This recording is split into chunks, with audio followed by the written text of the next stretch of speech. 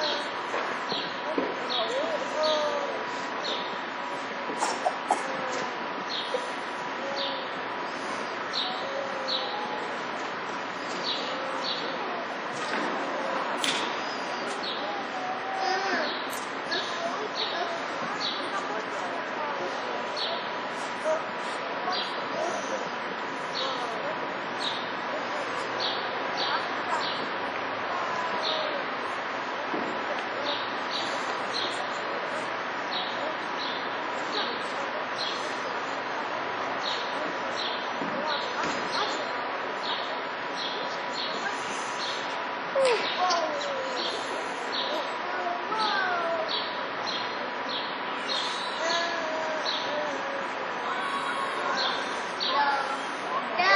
time of 87.99 will end up with a time penalty under the original time allowed. And again, 87.99 being two commenced seconds over adds one on the clock. But for right now, that's the best.